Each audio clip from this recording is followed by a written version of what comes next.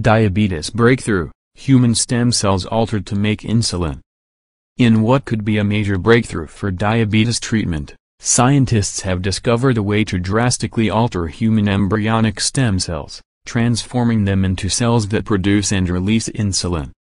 Developed by researchers at Harvard University, the innovative new technique involves essentially recreating the formation process of beta cells, which are located in the pancreas and secrete insulin. By stimulating certain genes in a certain order, the Boston Globe reports that scientists were able to charm embryonic stem cells, and even altered skin cells, into becoming beta cells.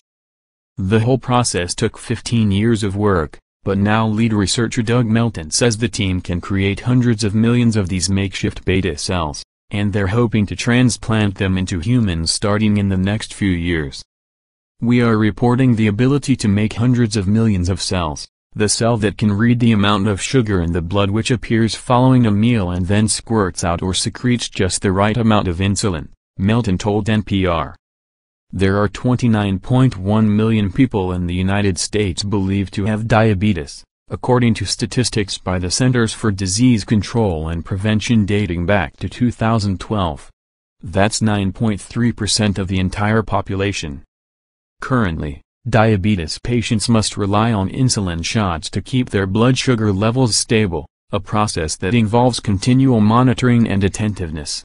Failure to efficiently control these levels can cause some patients to go blind, suffer from nerve damage and heart attacks, and even lose limbs. If Melton's beta cell creation process can be successfully applied to humans, it could eliminate the need for such constant checkups since the cells would be doing all the monitoring. Already, there are positive signs moving forward, the transplanted cells have worked wonders on mice, quickly stabilizing their insulin levels. We can cure their diabetes right away, in less than 10 days, Melton said to NPR. This finding provides a kind of unprecedented cell source that could be used for cell transplantation therapy in diabetes. With mice successfully treated, the team is now working with a scientist in Chicago to put cells into primates, the Globe reported. Even so, significant obstacles remain, particularly for those who have type 1 diabetes. With this particular form of the disease, the human immune system actually targets and destroys insulin-producing beta cells in the pancreas, so Melton's team is looking into encasing cells inside of a protective shell in order to ensure their safety. Another hurdle is political, since many are against tinkering with human embryonic stem cells on the grounds that research wipes out human embryos. As a result, scientists are also trying to recreate their work on other types of stem cells. Regardless, the research, formally published in the Cell Journal this week, is being welcomed with open arms.